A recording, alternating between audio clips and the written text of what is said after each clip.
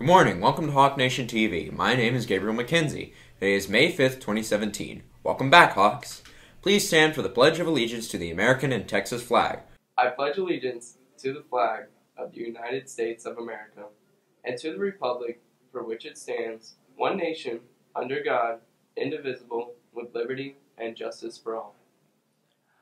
Honor the Texas flag.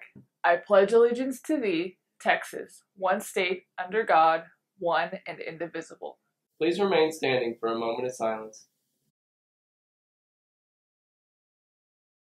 You may be seated. Hey, Hawks! How'd you like to win two tickets to the Schlitterbahn? Refer a friend to join AFCU, and not only will you both earn cash when they open a qualifying account, but you'll also be entered to win two tickets to Schlitterbahn Water Park and New Braunfels. Stop by the AFCU branch for details.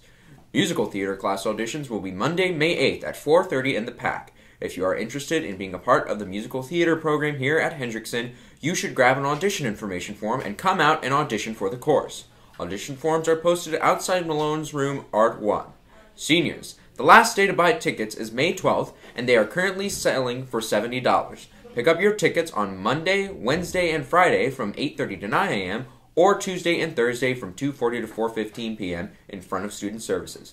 All credit recovery, makeup hours, and outstanding balances must be taken care of before buying prom tickets. Have you heard of Tour de Hawk? It's a bike race around Hendrickson High School. The race will be on May 20th. Tickets will be $5 to compete and may be purchased in A101. To all teachers, thank you for being the keys to our success. Make sure you that make sure that you check your mailboxes today for a gift from Key Club and your students.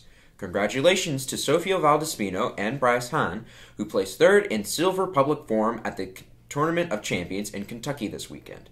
Bryce also placed 15th speaker out of 142 competing.